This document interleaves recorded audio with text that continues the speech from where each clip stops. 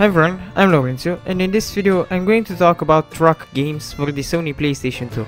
18-wheeler American Pro Trucker was released in arcades in the year 2000 and ported to the Dreamcast in 2001 and it was released for the PlayStation 2 in 2001 and for the Nintendo GameCube in 2002.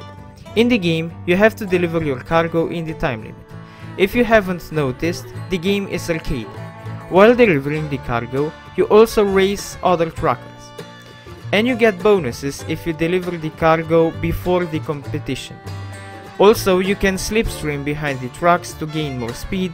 You also get extra time if you complete challenges that appear like smashing into certain cars. And when you deliver your cargo, there is a parking minigame.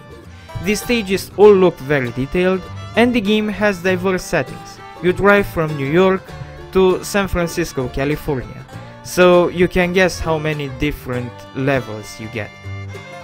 Also you can choose if you want a heavier cargo that pays better but it's harder to pull, or a lighter cargo with which you can complete the time trials easier as you pull it easier so your truck is faster. The game is awesome, it's fast paced, challenging and has a lot of variety.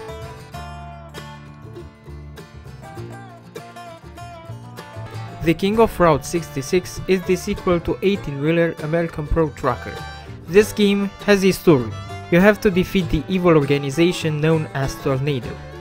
You choose between 5 truckers, each with its own stats, one is better at speed, another one at torque, and so on, and you get to defeat some truck villains, thugs. You start out in Illinois and progress through Missouri, Kansas, Oklahoma, Texas, New Mexico, Arizona, and finally California. Also aside the story mode named King of the Route 66, you also get another mode called Queen of Route 66. In this one, instead of delivering cargoes in a time limit and racing other truckers, you'll mostly just collect stuff on the road. There is also a challenge mode and some minigames. Emblem Catch 1 and 2, Convoy Golf, Moving Targets, Destroy the Cars, long haul slam, protect any, and sooner the better.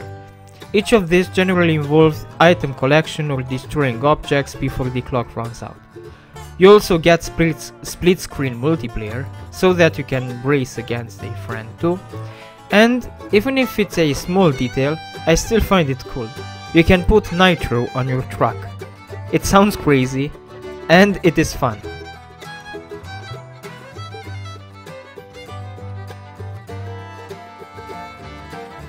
So, Big Mutha Truckers sounds funny.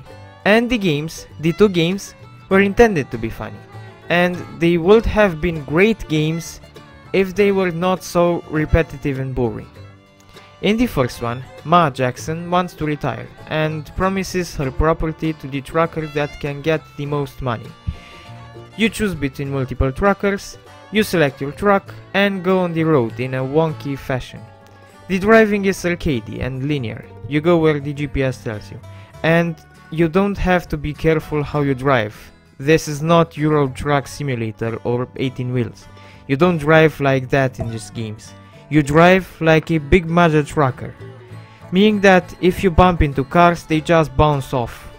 And even you even get bonuses for that. But you have to avoid hitting cops and bikers. Bikers steal your cargo if you hit them. They drive near you and jump on your truck on a fast and furious style and steal your stuff. You also get to the bar where you can play slot machines to make more money and you have to talk to the bartender for tips on where your truck jobs are best paid. And this get and this gets very repetitive. I mean, you do the same stuff over and over, but in different cities.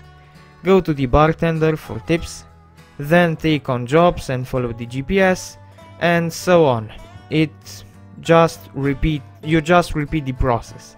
And driving isn't that exciting either. It gets even annoying at times. You also can race other truckers, but that is just frustrating considering what controls you have. The wonky controls don't give you any satisfaction when you race. But luckily, races are optional, so you can just decline the offer to race. And aside the story you get also mission mode, where you can do stuff like smash targets on the road. So they tried to make the experience more varied, but I don't know, something about it makes you get bored easily in the game.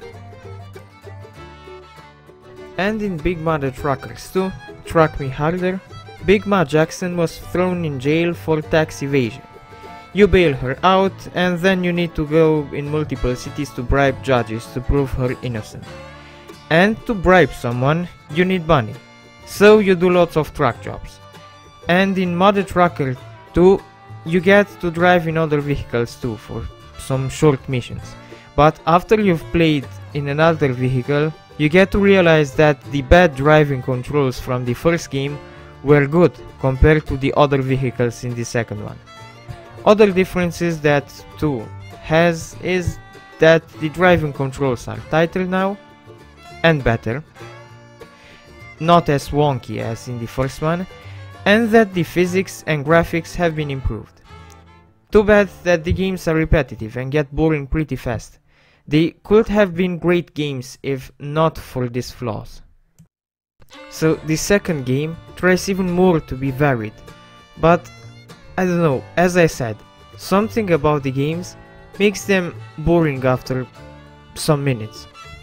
And it's a shame, because the, the, the game developers really tried.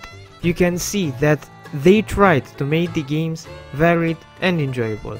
They are funny, they are promising on paper, but when you get to play them, you get bored easily in them. Maybe I was expecting too much.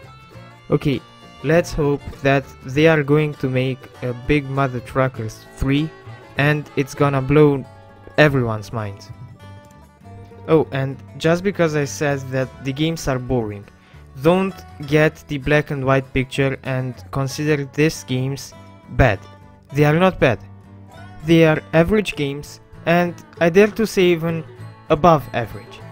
And also they have humor and that is a great plus in the games.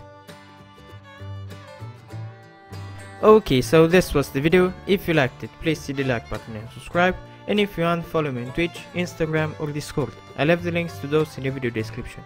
Also, if you want to see another video of mine, just wait till I stop talking and there will be thumbnails of other videos I've made. Thanks for watching.